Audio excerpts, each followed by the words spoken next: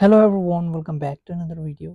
In this video guys i'm going to show you how to add funds to your apple id without credit card or debit card. So if you don't have any debit or credit card you want to add fund to your apple id to purchase games movies or anything and you don't have any card to purchase i'm going to show you how you can do it without any credit or debit card. So let's get start the video.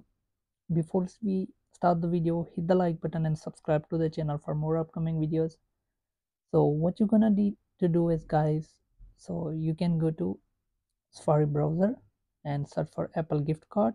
You can choose a trusted website or you can also choose an official apple website. So you can ask your friend to buy a gift card for you. You can give him the money.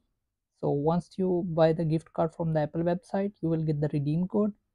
So you can purchase 10 dollar 20 dollar 50 100 dollar once you have done this then you can go to app store. So once you have the redeem code then you can go to your app store iphone click on user icon here then click on redeem gift code. Then you can use a camera to scan the code or you can enter the code manually.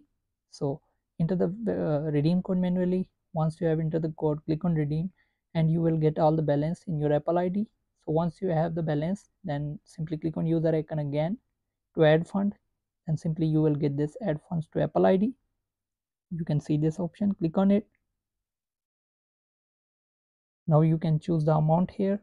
So you can also choose the other amount. You can just set the amount.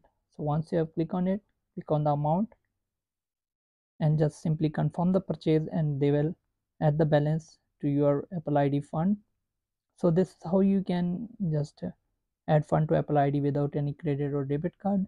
So hope this video helps you. If it does then leave a like and comment. Thanks for watching